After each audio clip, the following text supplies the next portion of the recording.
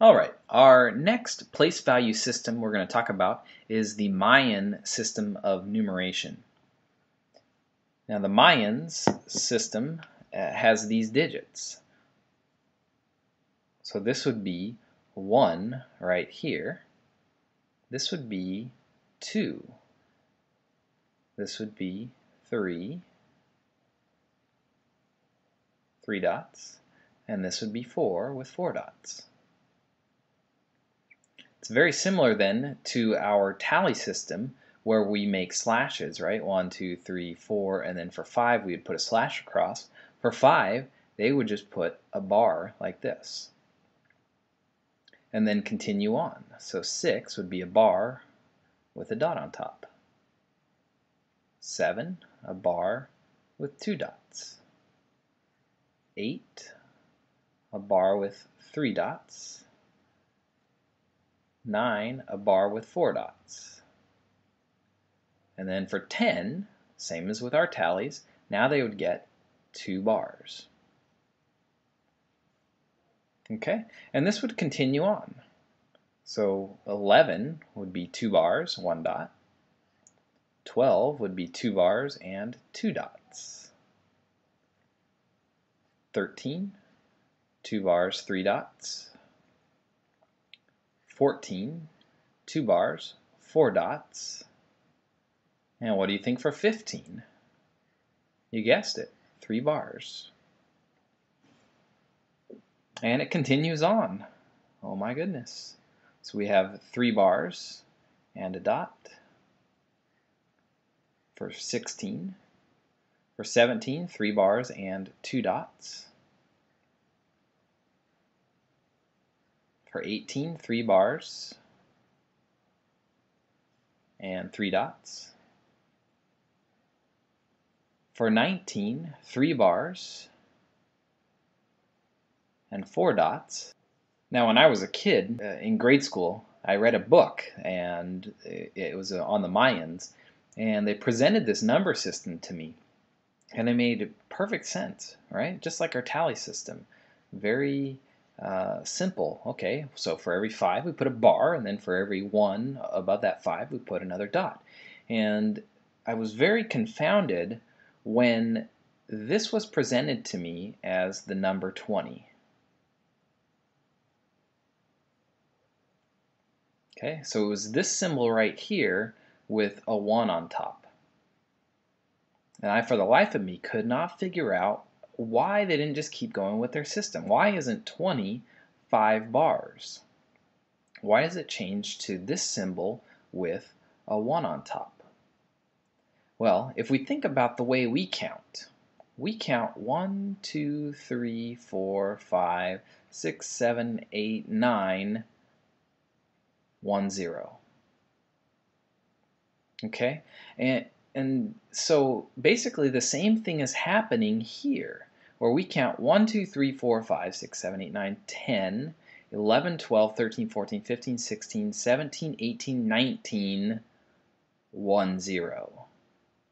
Okay? Just like we don't have another separate symbol for 10, they didn't have a separate symbol for 20. They went back to a 1 and a 0. So now maybe that gives you some hint to the place values. So first off, it's always going to be the ones place value. And then the very next one, it jumps to 20.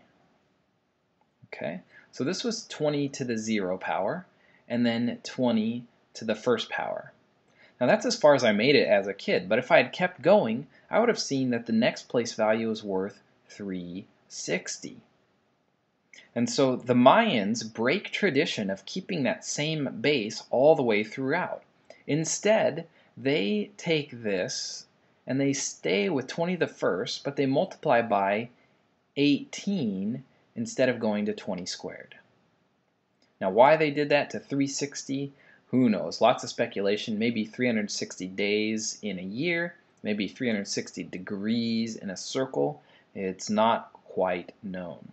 Now from there, they continue with the same pattern of raising the power of the base. So it'll be 20 squared times 18. And then 20 cubed times 18. And now the pattern continues 20 to the fourth times 18, 20 to the fifth times 18. So it's a very modified base 20 system where it goes 120, 360. This one would give us 7,200 and the next one would be 144,000. Okay, from there it gets larger than any numbers that we're going to deal with.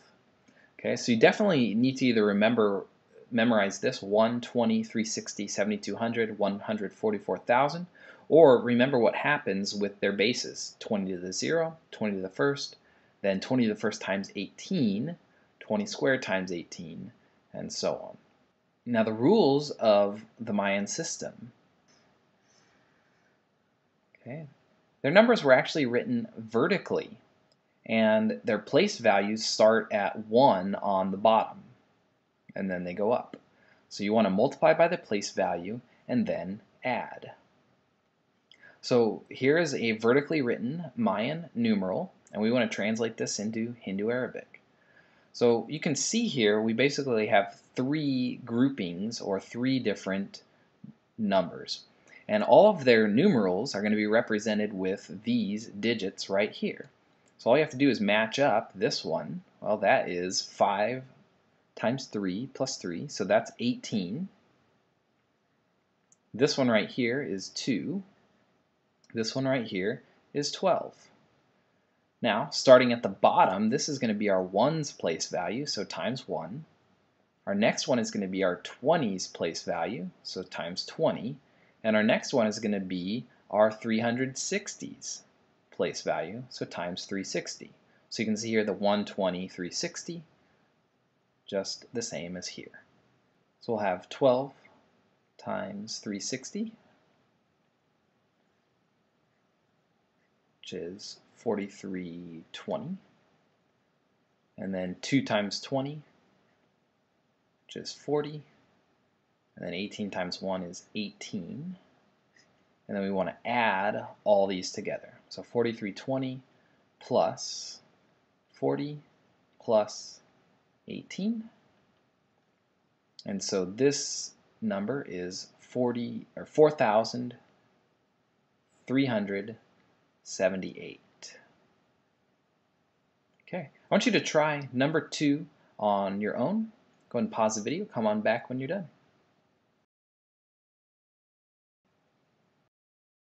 All right, welcome back. So you should have gotten 4 times 1, 11 times 20, 8 times 360, and all of this adds up to be 3,104.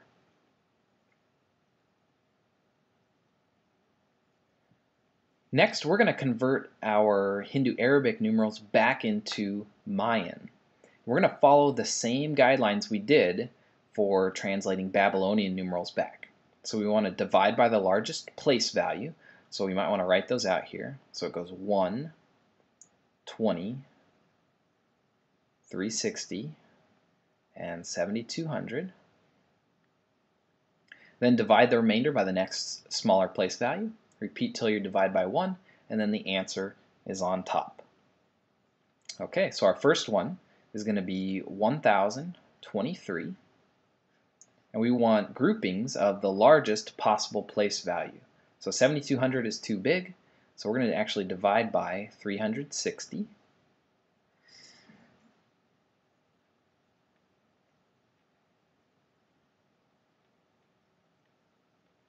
Okay, so that is 2. And to find our remainder, we'll do 2 times 360, which is 720.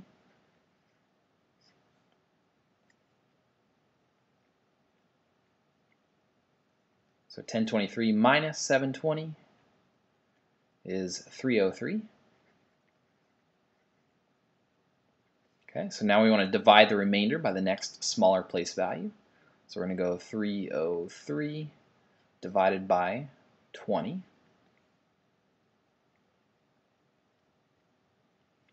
Gives us 15. So 15 times 20 is 300 with 3 left over. And then we want to divide by our next place value, which is 1, and that's just going to be 3. Now we want to represent this number vertically. So we want to represent a 3, and then a 15, and then a 2. So in Mayan, 3 is just our three dots. 15 is our three bars, and then 2 is two dots. So this right here is the Mayan numeral for 1023. And to me it's just kind of crazy to think that they would see this and they would understand what it meant just the same as when we see 1023 and understand what that means. Kind of mind-boggling. All right, I want you to try the next one, 2006, on your own. So go ahead and pause the video and come on back when you're finished.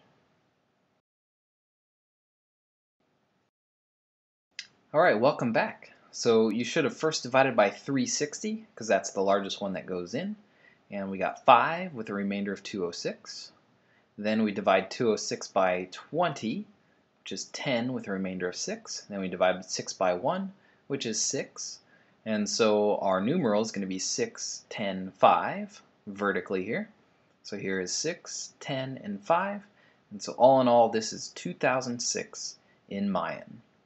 So that is how to convert to and from Hindu Arabic numerals and Mayan numerals.